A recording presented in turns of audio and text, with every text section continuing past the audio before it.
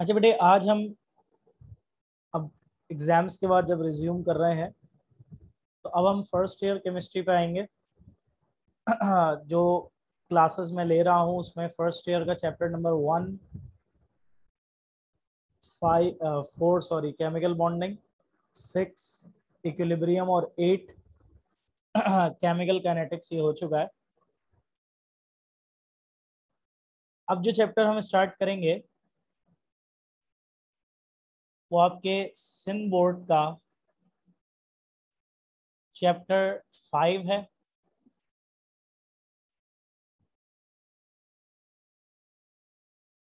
जबकि federal board का chapter eleven है।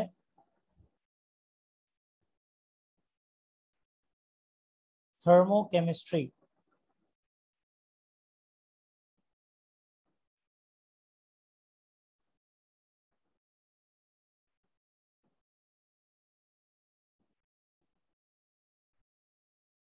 ठीक है बेटा, ये चैप्टर जो है वो सिंध बोर्ड में चैप्टर नंबर फाइव है फ़र्स्ट ईयर का और फेडरल बोर्ड में चैप्टर नंबर इलेवन है।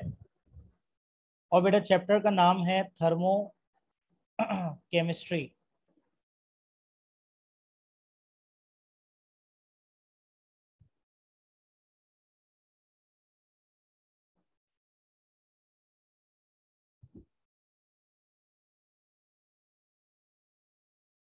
अब देखिए भाई कॉन्सेप्ट की शुरुआत कहाँ से होती है, बहुत ध्यान से सुनिएगा। देखिए भाई, हर प्रोसेस चाहे फ़िज़िकल प्रोसेस हो या केमिकल प्रोसेस हो, हर प्रोसेस के दौरान एनर्जी चेंजेस होती हैं।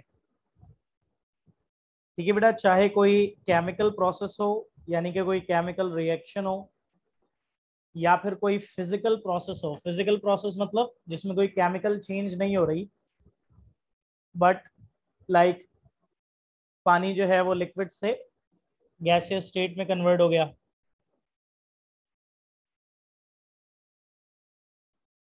ठीक है बेटा या कार मूव कर रही है। तो ये बात जहन में रखिएगा बेटा चाहे कोई फ़िज़िकल प्रोसेस हो या कोई केमिकल प्रोसेस हो हर प्रोसेस में एनर्जी चेंज होती है। Every process involves chemical changes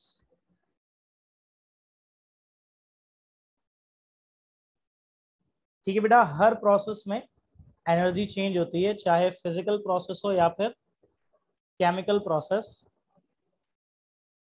और किसी भी किस्म की एनर्जी चेंज को स्टडी करना। Study of all types of energy changes किसी भी किस्म की एनर्जी चेंजेस को स्टडी करना। थर्मोडाइनेमिक्स कहलाता है। ठीक है भाई? तो थर्मोडायनेमिक्स एक बहुत ही बड़ी ब्रांच है साइंस की। उसामा कह रहे हैं स्क्रीन शो नहीं हो रही। बेटा, बाकी स्टूडेंट्स बताइए, सबको स्क्रीन शो हो रही है?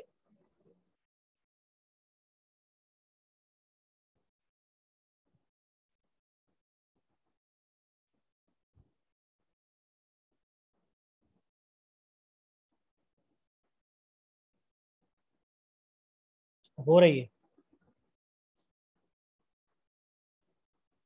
ठीक है भाई? तो किसी भी किस्म की एनर्जी चेंज को स्टडी किया जाता है थर्मोडायनेमिक्स में।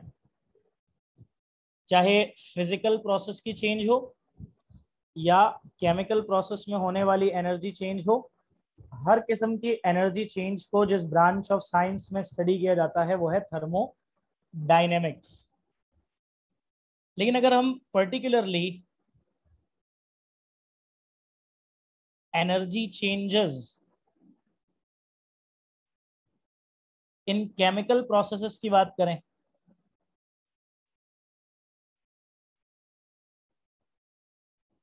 तो केमिकल प्रोसेसेस में होने वाली एनर्जी चेंजेस को स्टडी किया जाता है थर्मोकेमिस्ट्री में which is the branch of chemistry तो पहली बात ये याद रखिएगा बेटा कि हर प्रोसेस के दौरान एनर्जी चेंज होती है, चाहे फ़िज़िकल प्रोसेस हो या फिर केमिकल प्रोसेस और बेटा किसी भी किस्म की एनर्जी चेंज को स्टडी किया जाता है थर्मोडायनेमिक्स में। बट पर्टिकुलरली अगर हम बात करेंगे केमिकल प्रोसेस या केमिकल रिएक्शंस के दौरान होने वाली एनर्जी चेंजेस की तो बेटा याद रखिएगा कि केमिकल प्रोसेस या केमिकल रिएक्शंस के दौरान होने वाली एनर्जी चेंजेस को जिस ब्रांच में स्टडी किया जाता है वो है thermochemistry so what we are going to focus in this chapter is thermochemistry so actually, we will be discussing the energy changes in chemical processes. अब देखिए भाई, सबसे पहली बात, आप सब जानते हो एनर्जी की कई फॉर्म्स होती हैं। यहाँ पे जिस फॉर्म ऑफ़ एनर्जी की बात हम करेंगे, वो है हीट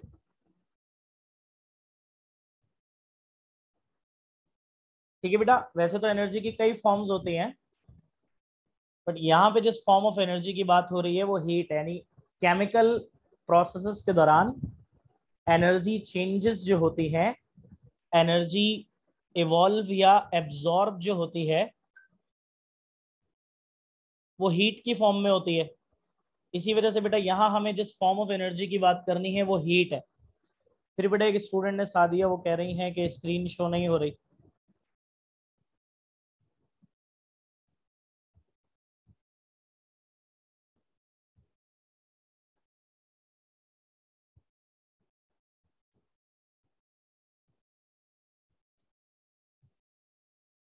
जी बेटा बाकी स्टूडेंट्स बताइए जल्दी से।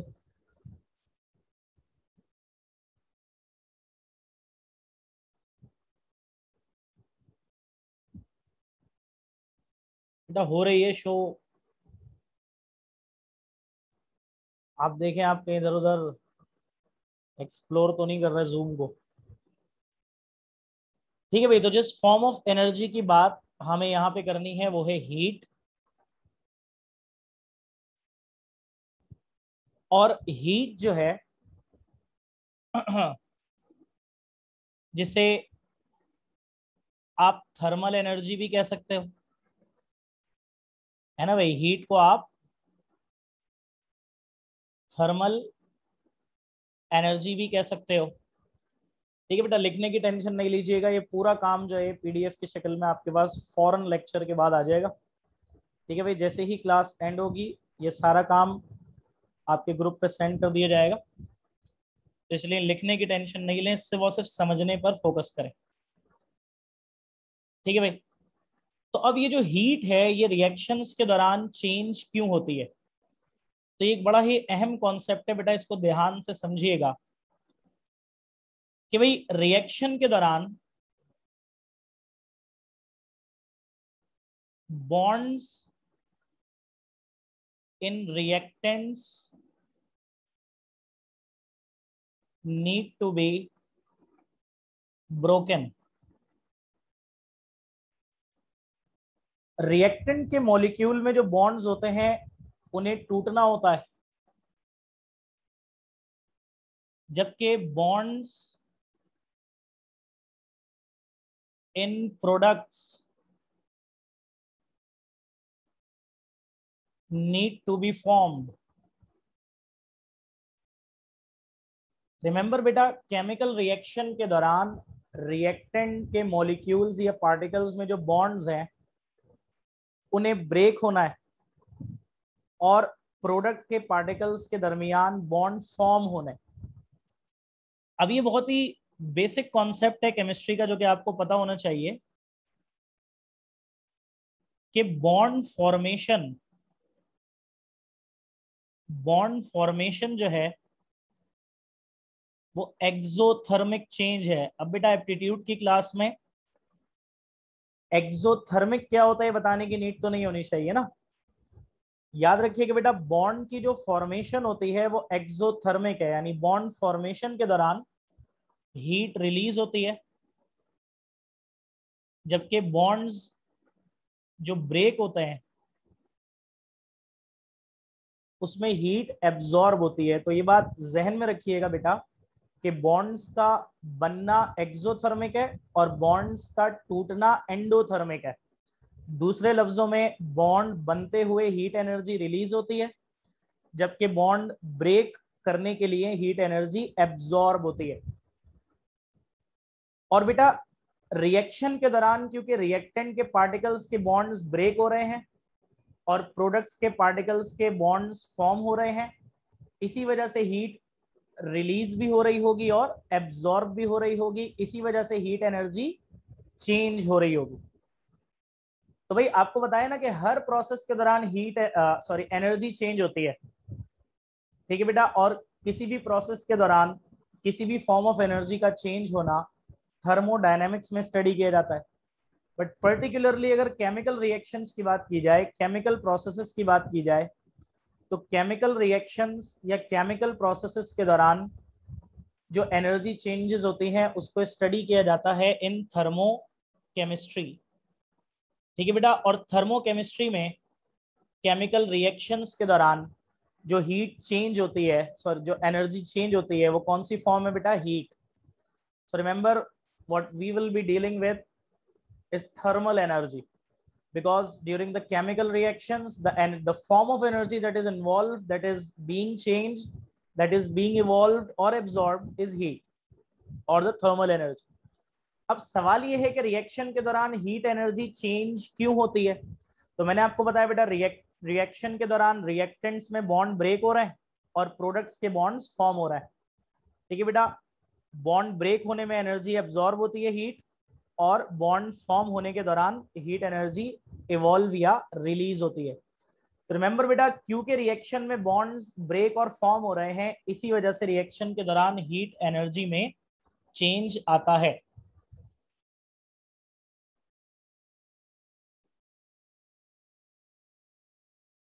Now what are the units of thermal energy.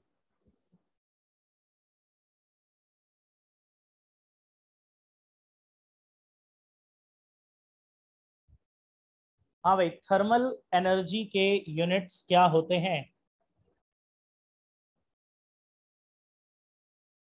तो बेटे आप सब जानते हो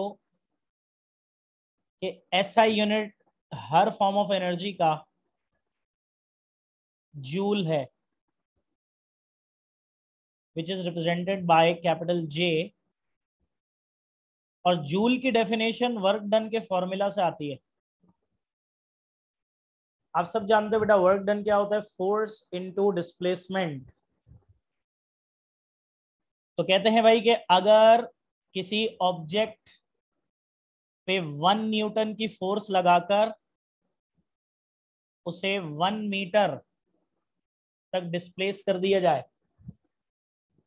ठीक है बेटा? अगर किसी ऑब्जेक्ट पर वन न्यूटन की फोर्स लगाकर उसे वन मीटर तक डिस्प्लेस किया जाए तो इसके लिए जितनी एनर्जी इस्तेमाल हुई, वो क्या होगी? वन जूल बेटा डेफिनेशन याद रखिएगा। Energy required to move an object or a particle through a distance of one meter by a force of one newton. ठीक है भाई? तो किसी भी ऑब्जेक्ट या पार्टिकल पर अगर एक न्यूटन की फोर्स लगाकर उसे एक मीटर डिस्प्लेस करना हो तो जितनी एनर्जी उसके लिए रिक्वायर्ड होगी, वो क्या कहलाएगी? One joule so joule is the SI unit of any form of energy, and you know that already. Another common unit is calorie.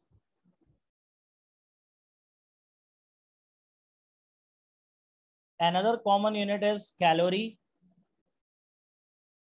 And calorie is the amount of heat required to raise the temperature of water 1 gram of water by 1 degree centigrade. So if we want to increase the temperature of 1 gram of water by 1 degree centigrade, particularly from 14.5 to 15.5 हो तो one degree ही रहा है but ये थोड़ा सा इसमें समझ लीजिएगा कि ये स्पेसिफिसिटी है इसकी। तो भाई, अगर हमें वन ग्राम वाटर का टेम्परेचर वन डिग्री सेंटीग्रेड बढ़ाना हो तो उसके लिए जितनी हीट एब्जॉर्ब होगी पानी में, उसे हम वन कैलोरी कहेंगे। ठीक है बेटे? That heat will be called one calorie and remember one calorie is equal to four to 4.18 joules. You need to remember this conversion. ठीक है बेटा, ये कन्वर्जन आपने लाजमी याद रखनी है। ठीक है भाई तो अब देखो लिंक करते जाओ कॉन्सेप्ट्स को। हर प्रोसेस के दौरान एनर्जी चेंज होती है और किसी भी किस्म के एनर्जी चेंज को हम थर्मोडायनामिक्स में स्टडी करते हैं। बट पर्टिकुलरली अगर केमिकल प्रोसेस में होने वाली एनर्जी चेंज की बात की जाएगी तो उसे हम किसमें स्टडी करते हैं? थर्मो केमिस्ट्री में। ठीक है बेटा केमिकल रिएक्शंस के दौरान जो एनर्जी चेंज होती है, वो कौन सी फॉर्म में होती है बेटा? हीट की फॉर्म में। और चेंज होती क्यों है? क्योंकि रिएक्शंस के दौरान रिएक्टेंट के पार्टिकल्स में बॉन्ड्स ब्रेक होते हैं और प्रोडक्ट्स के पार्टिकल्स में बॉन्ड फॉर्म होते हैं। बॉन्ड ब्रेक होने के लिए एनर्जी एब्जॉर्ब होती है और बॉन्ड फॉर्म होते हुए एनर्जी रिलीज़ होती है।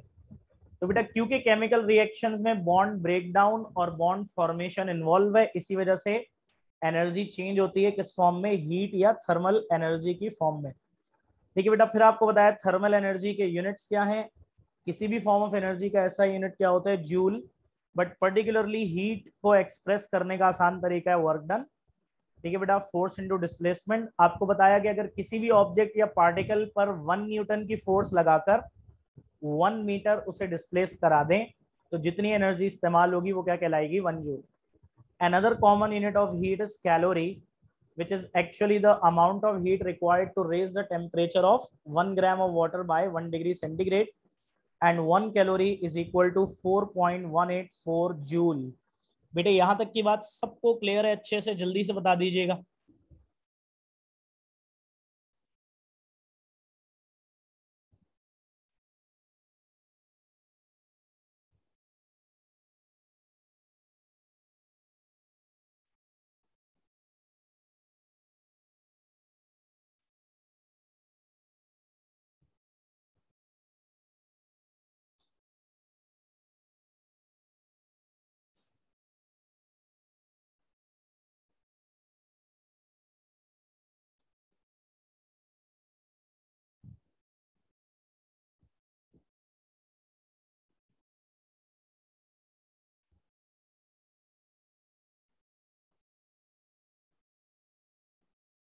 अच्छा भाई नाउ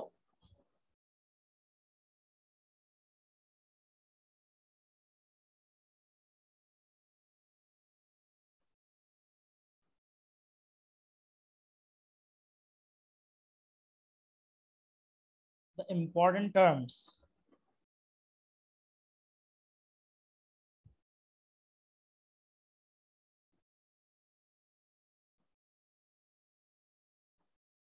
अब देखिए भाई थर्मोडाइनेमिक्स और थर्मोकेमिस्ट्री को स्टडी करने के लिए आपको कुछ टर्मनोलॉजीज का पता होना बहुत ज़रूरी है। अगर आपको वो टर्मिनोलॉजीज पता हैं तो आप इसको स्टडी कर पाओगे और अगर आपको टर्मनोलॉजीज नहीं पता तो आप उसको स्टडी नहीं कर पाओगे। और सबसे पहली टर्म इसमें कौन सी होती है? सिस्टम ठीक है बेटा, सबसे पहली टर्म जो इसमें होती है वो है system now what is system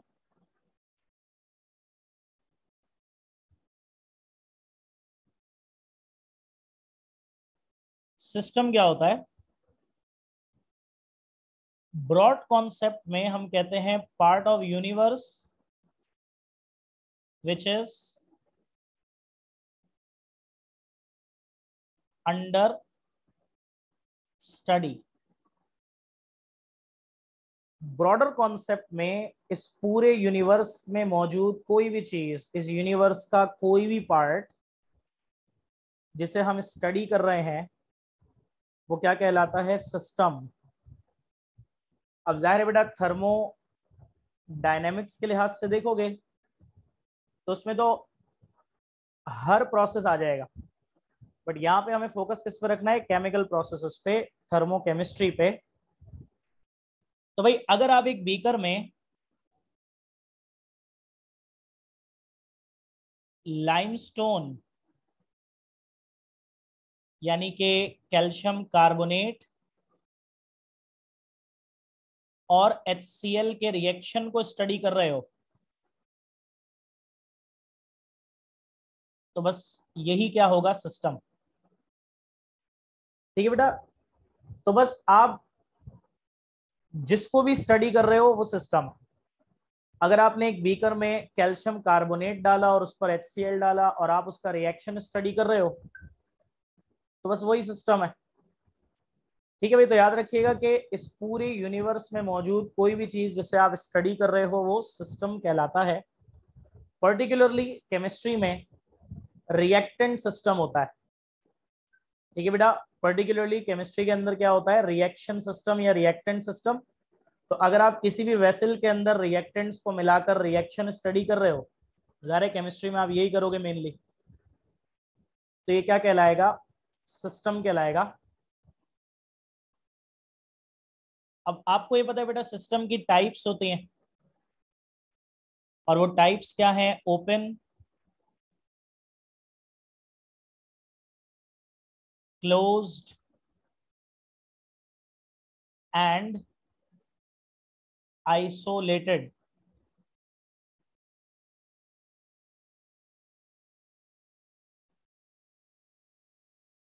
ठीक है बेटे open system closed system and isolated system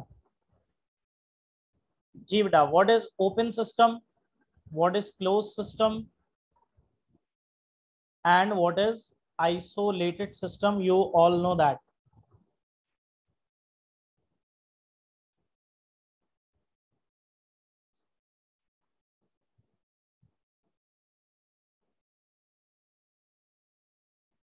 अच्छा भाई, अब हम इन्हें डिफाइन कैसे करते हैं? हम इन्हें डिफाइन करते हैं about their tendency to communicate with the surroundings ठीक है बेटा how these types are made these types are made in accordance with their ability to communicate with the surroundings remember if both matter and energy can be transferred. if matter and energy both can be transferred between the system and surroundings, the system is said to be open.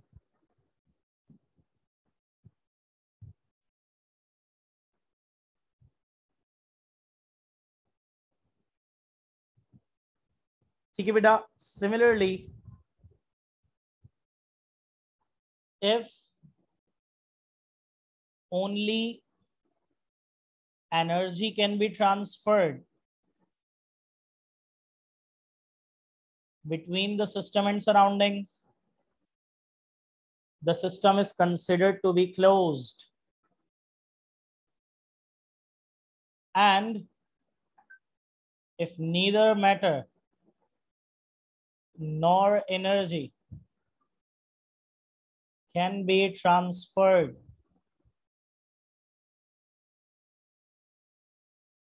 The system is said to be isolated.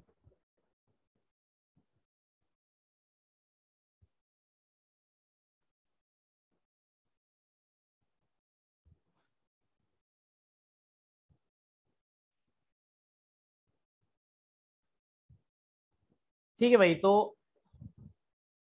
अगर एक system में से matter और energy दोनों transfer हो सकते हैं यानी सिस्टम से निकल के बाहर सराउंडिंग्स में भी जा सकती हैं और सराउंडिंग से सिस्टम में भी आ सकती हैं। तो ऐसा सिस्टम ओपन कहलाता है। जैसे एक चाय का कप है जिसमें गरम गरम चाय है। अब उसमें से धुआँ निकल रहा है। धुआँ क्या होता है? वाटर वेपर्स वाटर वेपर्स क्या है? मैटर और वो चाय कुछ देर में ठंडी हो जाएगी। इट मींस एनर्जी भी बाहर चली गई। तो चाय का कप एक ऐसा सिस्टम है। जिसमें से मैटर और एनर्जी दोनों ही ट्रांसफ़र हो रही हैं तो एक ऐसा सिस्टम होगा ओपन अगर आप उसी चाय के कप के ऊपर लिड रख के उसे कवर कर दो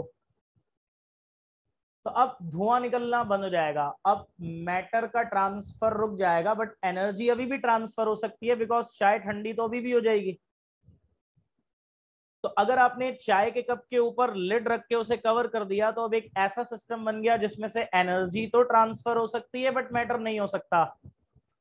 और ऐसा सिस्टम कहलाता है बेटा क्लोज सिस्टम और अगर आपने उस चाय को डाल दिया थर्मोस में तो थर्मोस में यू नो चाय बहुत देर तक गर्म रहती है विच मीन्स के जितनी देर तक गर्म है we can assume this is not perfect but we can assume that the whole time that is in the thermos flask, the transfer of energy is also stopped. Remember, there is no system in the universe which is perfectly isolated. ठीक है बेटा perfectly isolated कोई system नहीं होता we can assume कि जितनी देर तक चाय थर्मोस में है उतनी देर तक हीट ट्रांसफ़र नहीं हो रही तो एक ऐसा सिस्टम जिसमें ना मैटर ट्रांसफ़र हो सकता है, ना एनर्जी उसे क्या कहा जाता है? आइसोलेटेड सिस्टम ठीक है बेटा? तो मैंने आपको क्या बताया कि सिस्टम क्या होता है? इस पूरे यूनिवर्स में मौजूद कोई भी चीज़, हम जिसे स्टडी कर रहे हैं, या हम जिस पर फोकस कर रहे हैं थर्मोडायनेमिक्स के लिहाज से वो क्या है? System but preferably in chemistry in thermochemistry the systems are the reactants that are being mixed in a vessel to carry out a reaction. So if we take any vessel or beaker and mix limestone and HCl and begin to study the reaction, so that becomes the system according to thermodynamics. Now the system is of two types. अच्छा इस reaction में gas बनेगी चलो open close को मैं इस तरह से भी एक्सप्लेन कर देता हूँ कि अगर आपने एक वेसल लिया और उसमें लाइमस्टोन और HCl को मिक्स किया। बेटा, आपको पता है लाइमस्टोन कैल्शियम कार्बोनेट है और ये बात कई बार हो चुकी है कि if there is carbonate ion present in the formula and the reaction is being carried out with an acid so carbon dioxide will always be form you all know this if we leave the container open the carbon dioxide gas will escape and if the gas escapes the matter escapes and if the matter can escape the system is open but if we place a cork at the mouth of the vessel if you remember nine class में करते थे अगर हम उसको ऐसे close कर देंगे जो अंदर जो गैस बन रही है वो निकल ना सके तो वो सिस्टम कैसा हो जाएगा क्लोज ठीक है ना तो बेटा ये आपको केमिस्ट्री के हवाले से फ़र्स्ट ईयर तक आपको ये जनरली ही बताया जाता है। लेकिन अब ये सब कुछ आपको केमिस्ट्री के हवाले से बहुत क्लियरली पता होना चाहिए। ठीक है बेटा, यहाँ तक की बात सबको क्लियर है, अच्छी तरह से क्लियर है। जल्दी से बताइएगा बेटा।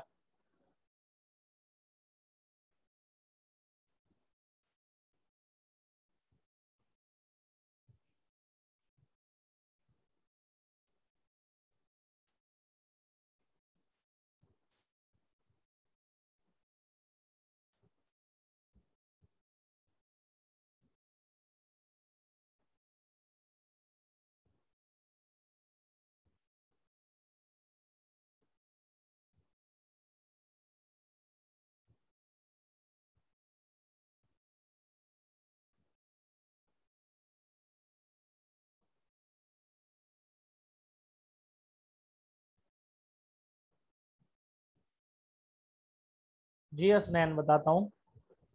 तो मैं क्या कह रहा हूँ बेटा, ये बात तो हमेशा से इसी तरह से एक्सप्लेन कर दी जाती है, चाय का कप चाय का cup it's okay it is a good example as well it is simple example actually लेकिन यहाँ पे बेटा आपको फोकस करना है केमिस्ट्री से रिलेटेड एग्जाम्पल्स पे। तो मैं कह रहा हूँ कि अगर आपने एक एक फ्लास्क लिया, वो नाइन में एक्सपेरिमेंट करते थे ना, वो राउंड बॉटम फ्लास्क वगैरह होता था उस फ्लास्क में आपने मार्बल चिप्स भरे मार्बल चिप्स पे आपने एच डाला और ऊपर से कॉर्क लगा के सील कर दिया तो अब जब रिएक्शन होगा गैस बनेगी that gas won't leave the system because system is what is inside the flask is it or not I told you that as far as the thermochemistry is concern system is basically the mixture of reactants in which the reaction is taking place so if the mixture is in the flask so that flask is a system. And if we close the system by placing a cork over the mouth, gas cannot be able to escape. And if the matter won't be able to escape the system, it become is closed. So you need to remember the examples related to chemistry, not just chai ka cup that can help you as well but यहाँ पे आपको थोड़ा सा chemistry से related रहना है ठीक है भाई स्नैन इज़ इट ओके